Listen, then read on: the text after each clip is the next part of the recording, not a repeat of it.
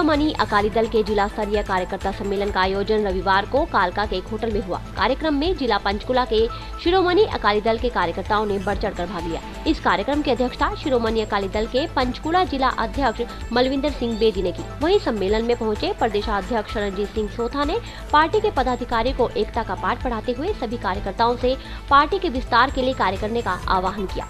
प्रदेशाध्यक्ष ने आगामी चुनावों के बाद हरियाणा प्रदेश में अकाली दल की सरकार बनाने का दावा किया। वहीं कार्यक्रम में पहुँची राष्ट्रीय महिला विंग की सचिव बीबी कुलबीर कौर ने पंचकुला में पार्टी की मजबूती के लिए मिलकर कार्य करने की बात कही।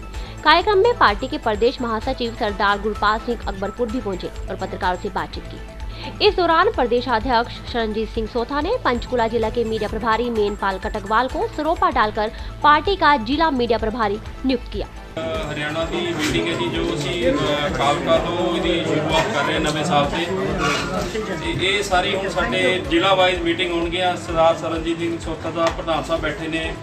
ਸਾਡੇ ਗੋਬਿੰਦਗੜ੍ਹ ਸਾਹਿਬ ਬੈਠੇ ਨੇ। ਜਨਰਲ ਸੈਕਟਰੀ ਆਲ ਇੰਡੀਆ ਜੀ ਅਜਰਾਣਾ ਜੀ ਬੈਠੇ ਨੇ। ਸਾਡੇ ਸਪੋਕਸਮੈਨ ਹਰਿਆਣਾ ਦੇ ਰਾਮਗੜੀਆ ਜੀ ਬੈਠੇ ਨੇ। ਜਨਰਲ ਸੈਕਟਰੀ ਹਰਿਆਣਾ ਦੇ ਗੁਰ- ਸਿੰਘ ਜੀ, ਰ- ਨਰੈਣਗੜ੍ਹ ਜਨਰਲ ਸੈਕਟਰੀ ਬੈਠੇ ਨੇ। ਤੋਂ ਇਹ ਮੀਟਿੰਗ ਨਾਲ ਅਸੀਂ ਹੁਣ ਆਪਣਾ ਜੋ ਬੂਥ ਵਾਈਜ਼ ਇਲੈਕਸ਼ਨ ਨੂੰ ਲੈ ਕੇ ਅਸੀਂ ਸਾਰੇ ਮੈਂਬਰਸ਼ਿਪ ਬਣਾਵਾਂਗੇ ਬੂਥ ਸਟਰੋਂਗ ਕਰਾਂਗੇ ਜੀ।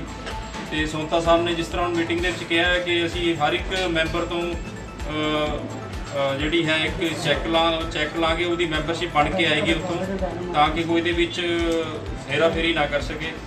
ਤੇ ਸੈਕਿੰਡ ਜੋ ਹੈ ਆਪਣਾ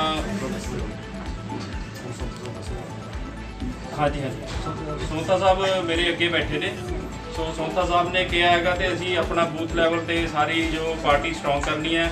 ਇੱਕ ਹੋਰ ਸਾਡਾ ਸਾਰਿਆਂ ਦਾ ਵਿਚਾਰ ਹੈ ਕਿ ਜਿਹੜਾ ਲੋਕਲ ਜੋ ਵੀ ਜਿੱਥੋਂ ਵੀ ਐਮਐਲ ਹੋਏਗਾ, ਉਹ ਲੋਕਲ ਬੰਦਾ ਹੋਏਗਾ।